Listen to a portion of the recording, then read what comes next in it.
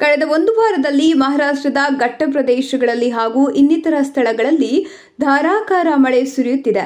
ಇದರಿಂದ ತಾಲೂಕಿನ ಕೃಷ್ಣ, ವೇದಗಂಗಾ, ದೂದ್ಗಂಗಾ ನದಿಗಳ ಒಳಹರಿವು ಹೆಚ್ಚಾಗಿದೆ. ಮಳೆಯಿಂದಾಗಿ ಕೆಂಪು ಬಣ್ಣದ ನೀರು ಹರಿದು ಬರ್ತಿದ್ದು, ಇದು ಆರೋಗ್ಯ ಮೇಲೆ ಪರಿಣಾಮ ಬೀರಬಹುದು. ಅದಕ್ಕಾಗಿ ಜನರು ನೀರನ್ನು ಸೋಷಿ ಕಾಶಿ ಸರಿಯಾಗಿ ಉಪಯೋಗ ಮಾಡಿಕೊಳ್ಬೇಕು. ಅದರಂತೆ ನದಿಯ ತೀರದ ಹತ್ತಿರ ಇರುವಂತಹ ಜನರು ಹಾಗೂ ದನಕರುಗಳನ್ನು ಮುಂಜಾಗ್ರತಾ ಕ್ರಮವಾಗಿ ಸುರಕ್ಷಿತವಾಗಿ ಸ್ಥಳಾಂತರವಾಗಬೇಕು ಎಂದು ಅಧಿಕಾರಿಗಳು ತಿಳಿಸಿದ್ದಾರೆ.